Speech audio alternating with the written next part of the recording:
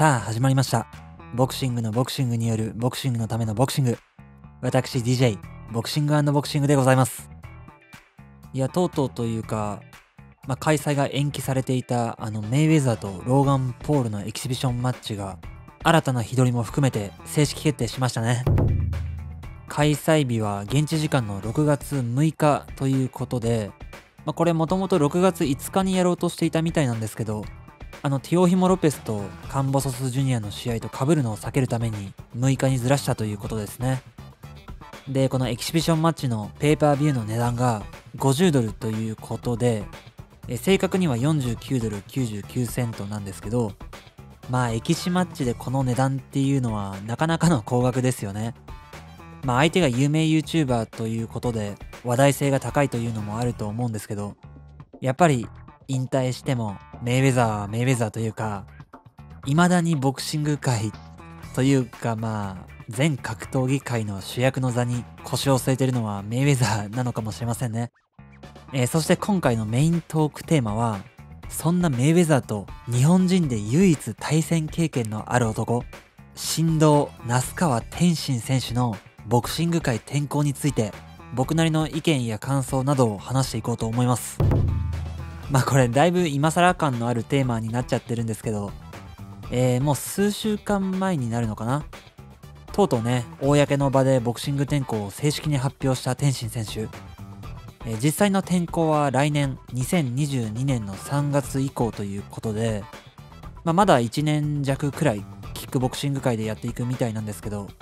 まあ、これは今から本当に楽しみというか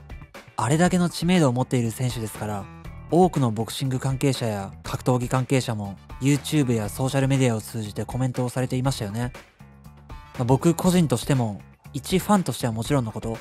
ボクシング系 YouTube をやっている身として天心選手のような話題性のある方がボクシング界に転向してくれることは本当にありがたいことですし当然ボクシング界全体としてもこんなに嬉しいことはないですよね。まあ、少し前に同じくキックボクシングからボクシング転向した武井選手もとても話題になりましたけどこの天心選手は武井選手よりもさらに知名度が高い上に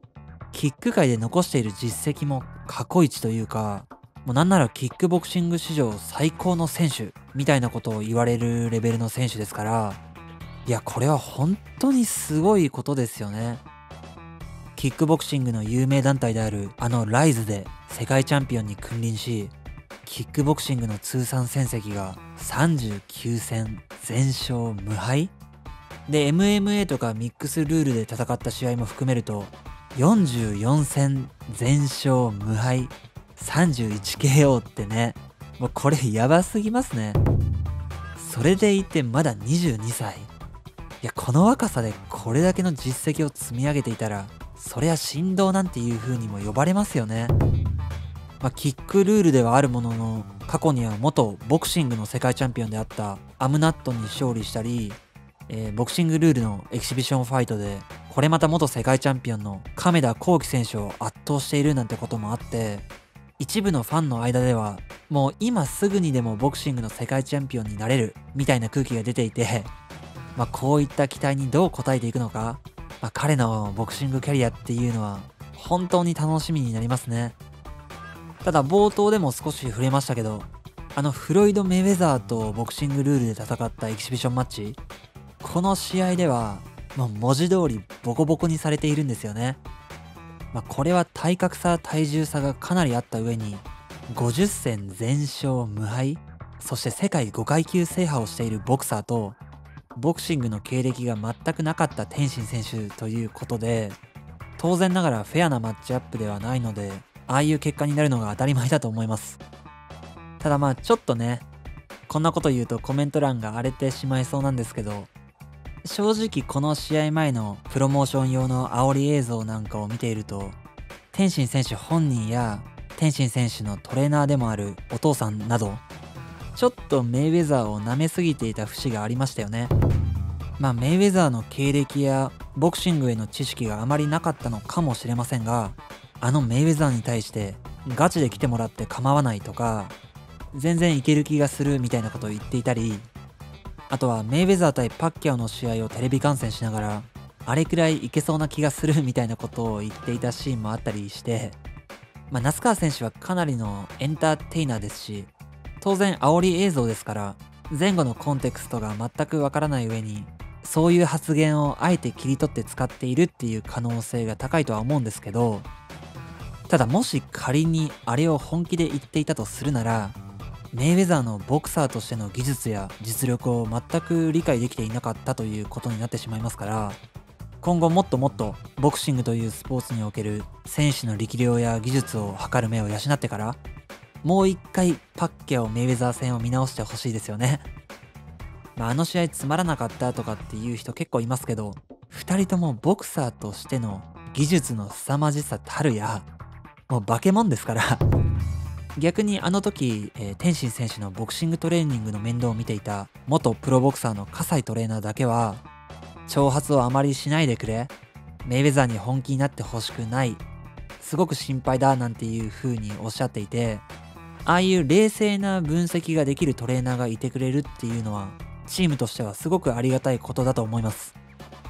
まあそういうトレーナーの声を選手が聞けるかどうかっていうのはまた別の問題なんですけどただこのメイウェザー戦を経験できたことっていうのは本当に貴重なことだと僕は思っていてまあメイウェザーからしたら完全にお遊びでトレーニングもほとんどしていなかったであろうブヨブヨのお腹 さらには試合前のアップも一切なし会場入り直前まで銀座で買い物をしていてそもそも引退していたボクサーですからね。それでいて、まあ、それでもあの天心選手を完膚なきまでに叩きのめしてこれでもかってくらいに鼻っ柱を折ってくれたわけですから純粋な強さを追い求めている格闘家として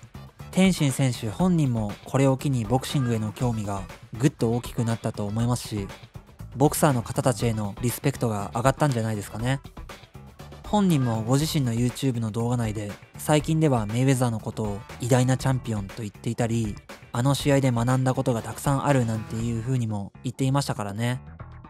まあ、天心選手のキックボクサーとしての実力を疑う人は一人もいないと思いますしおそらくボクシング転向してもある程度のレベルまではいくと思うんですけどただ名だたるボクシング界の大物たちが間違いなく世界チャンピオンになれるみたいなことを言ってるのはあまり鵜呑みにしない方がいいですよね。特に天心選手が今後所属することになる定見事務関係者の言葉はサービストーク成分だいぶ濃いめというかそれこそ葛西トレーナーの言っている才能は西岡俊明さんよりも上とか定見事務出身の有名選手たちが言っている世界王者間違いなしみたいな発言を真に受けて今の段階で世界王座を7回も防衛した名チャンピオンの西岡さんなんかと比較するとかっていうのはちょっと不憫というか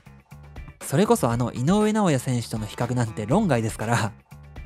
ただもちろん天心選手の格闘センスっていうのは本当にすごくて僕は彼のボクシングスパー映像とか亀田選手やメイウェザーとのエキシビションマッチも見ているんですけど、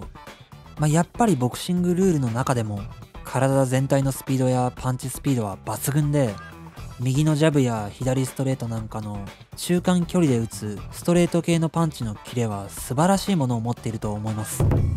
まあ、なので時間をかけてじっくりとやっていけば5年以内くらいには本当にボクシングの世界チャンピオンにもなれるポテンシャルを秘めていますよね。ただまあ逆にスピードに頼りすぎていて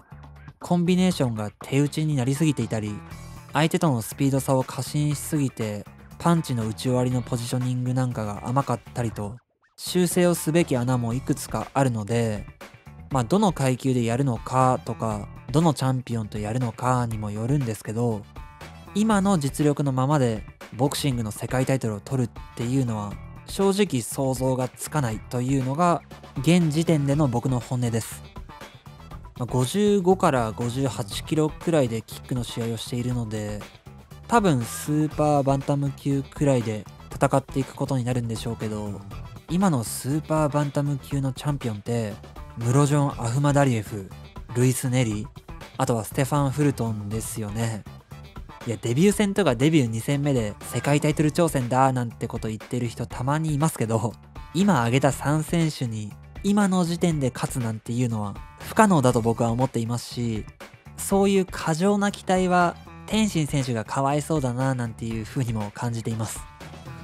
逆にいつもすごく冷静な視点から素直な意見を伝えてくれる細川バレンタイン選手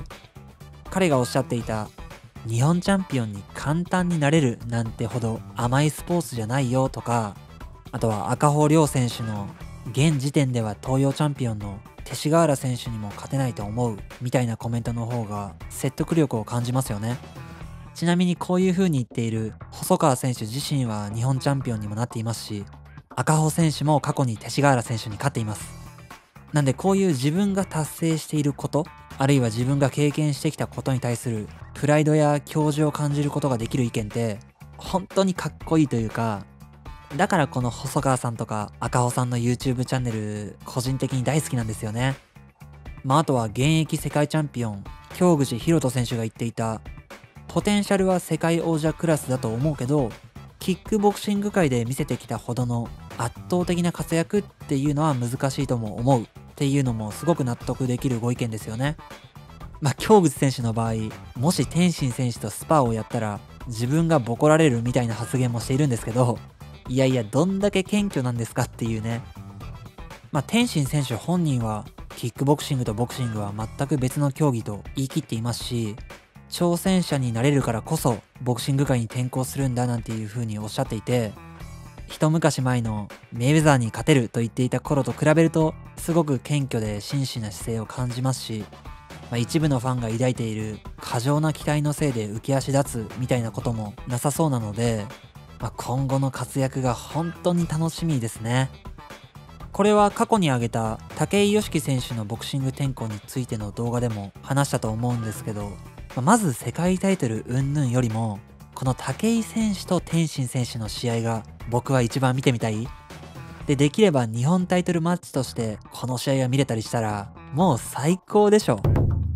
まあ、天心選手が本当にスーパーバンタム級で戦っていくことになれば2人とも同じ階級になりますし全然実現の可能性ありますよね、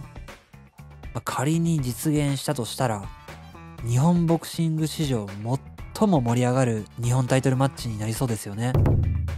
あ、その前に来年の3月までにあの K1 のスーパースターであるタケル選手としっかり決着をつけてもらってもうキックでやり残したことは一つもないと言い切れる状態で満を持してボクシング界に転向してきてほしいですね。